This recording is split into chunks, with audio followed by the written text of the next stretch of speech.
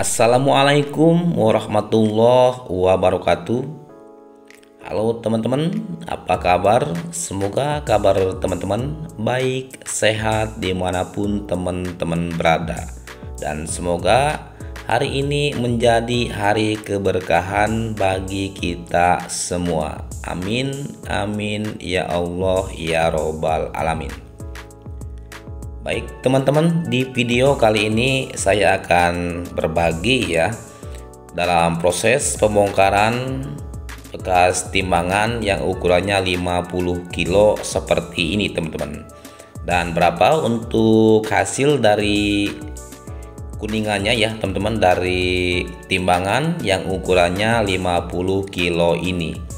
Saksikan videonya sampai selesai Mudah-mudahan bermanfaat ya buat teman-teman bila mana menemukan barang seperti ini sudah mempunyai patokan. Jadi tidak ragu lagi untuk membelinya.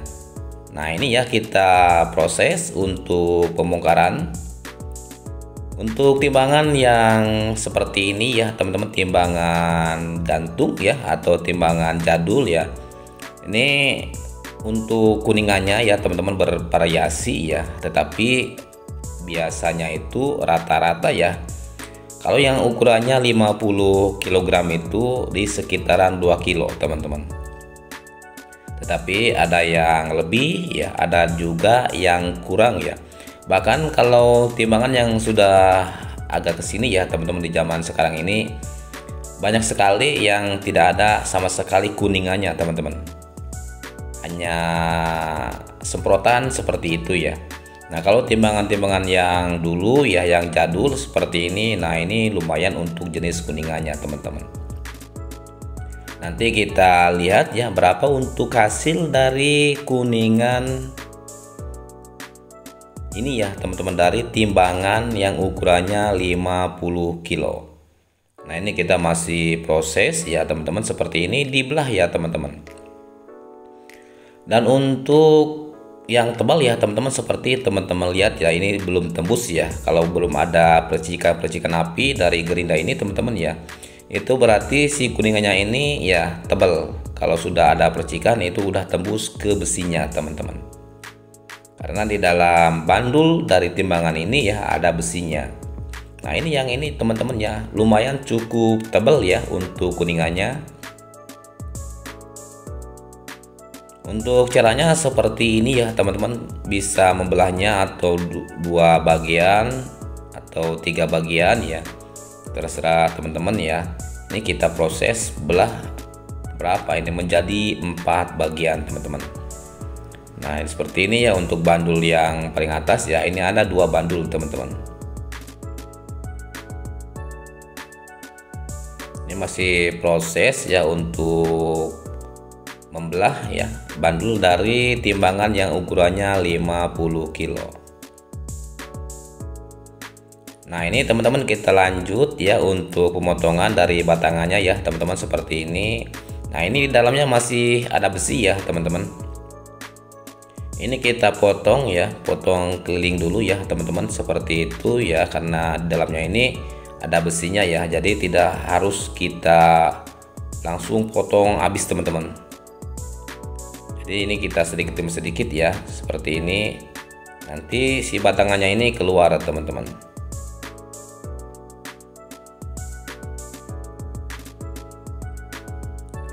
Nah ini sudah keluar ya teman-teman ya. Yang ini juga sudah tergerinda ya terbelah ya teman-teman. Ini tinggal kita memukulnya.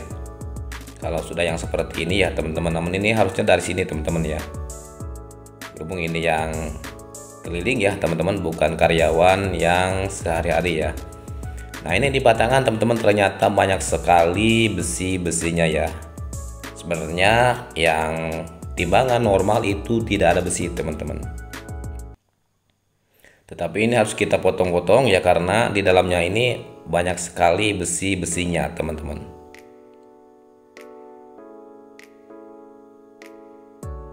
ya namanya juga mungkin pengusaha ya. Nah ini parah teman-teman. Walaupun pengusaha ini sangat parah ya.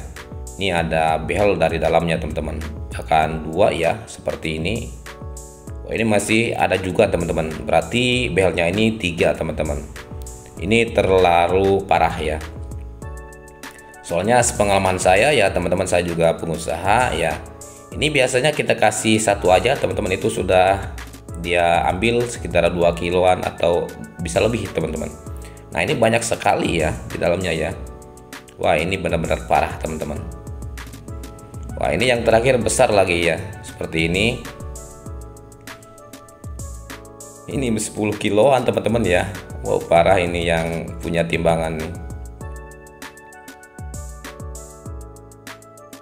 Nah ini sudah kita potong-potong ya teman-teman. Ya kita lihat dalamnya seperti ini ya. Kalau sudah seperti ini berarti ini bersih ya teman-teman sudah tidak ada lagi besinya ya di dalam ya.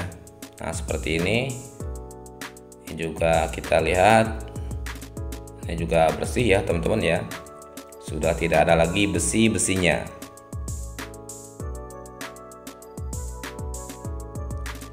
Nah ini kita lanjut ya untuk membuka dari bandulnya ya teman-teman. Seperti ini ya Nah ini sudah digurinda ya teman-teman ya. Harusnya ini begitu kita pukul ya dia keluar teman-teman. Namun kata saya dari awal ini ada kesalahan ya ini harus dipotong kembali dari atasnya teman-teman. Nah seperti ini ya supaya gampang dalam proses pengambilan kuningannya teman-teman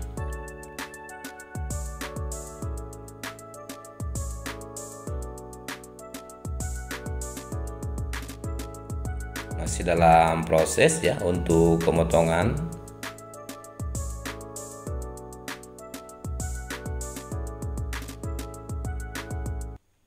Nah ini tinggal memukulnya ya teman-teman. Nah kalau sudah terpotong ya atasnya teman-teman seperti teman-teman lihat ya ini sangat mudah ya. Nah dia keluar sendiri seperti ini teman-teman. Tuh pada keluar ya. Karena ini sudah dibelah juga sudah dipotong ya Jadi seperti ini ya sangat simpel sekali dalam proses pengambilan kuningan Di dalam timbangan teman-teman. Nah ini sebelahnya lagi ya digerinda kembali ya seperti ini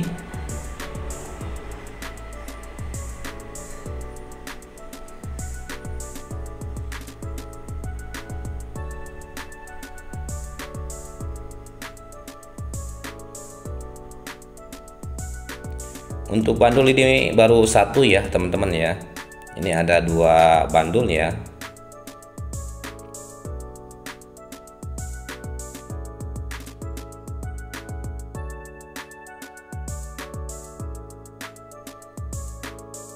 Nah ini sudah terpotong ya teman-teman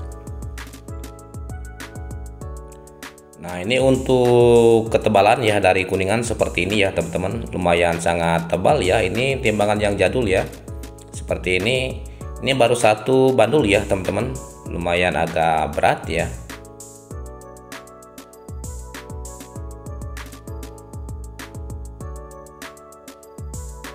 Ini baru satu aja sudah seperti ini ya teman-teman. Ini ada dua ya ya seperti ini untuk satu bandul juga batangannya ya teman-teman. Nah ini proses untuk pemotongan lagi yang bagian atas teman-teman. Dan ini untuk besinya ya besi di dalam timbangan ini seperti ini teman-teman. Besinya cukup besar juga ya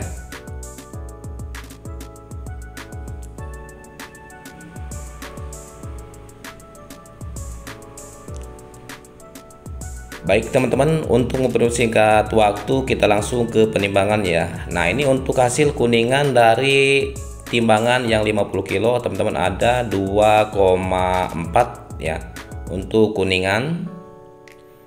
Dan ini untuk besinya ya teman-teman untuk besi dari timbangan yang 50 ada 5 kilo.